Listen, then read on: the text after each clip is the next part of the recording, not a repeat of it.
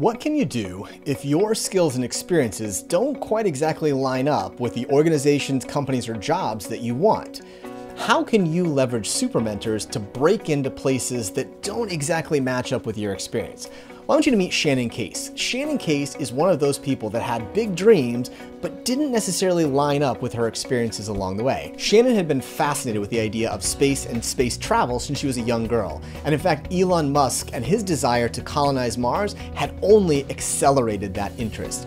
When she went to college at Carnegie Mellon, Shannon studied sciences and she studied sculpture. She was both an artist and a scientist, and yet she wasn't quite certain of where that would lead her in her career.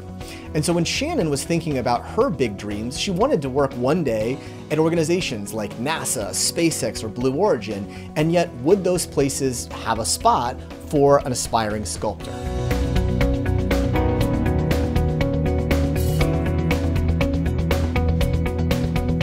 Shannon went out and talked to some amazing, smart people, people who worked at NASA, at Blue Origin, who studied what it would be like to live on other planets.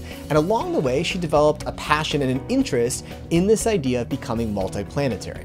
Well, it wasn't until she was studying abroad in the United Kingdom that an opportunity came her way, an opportunity to plan and build an art exhibit where she would show people who were patrons of the museum and other students how we as a species could become interplanetary. And it was that experience experience that unlocked a surprising opportunity for Shannon.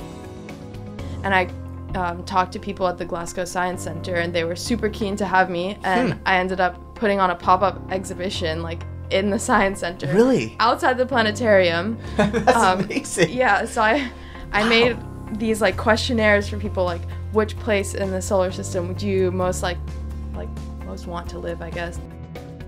That's where things only got crazier for Shannon. Well, not only did she have this exhibit, but she began to share things publicly about what she was learning online, talking to more people, and sharing things with her super mentors. One of them shared her interest and her passion and her skills as a sculptor and someone interested in the sciences with a team who was working on a surprising project for NASA.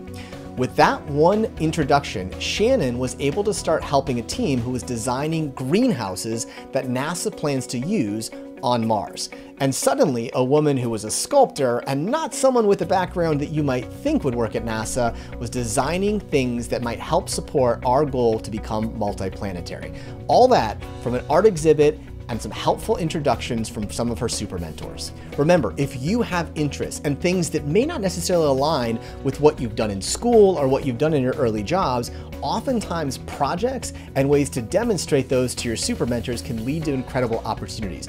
It all starts by identifying projects that you can use to tap into those interests, people you can involve, and most importantly, the idea of aiming higher, asking smaller, and doing it again and again until your opportunities unlock.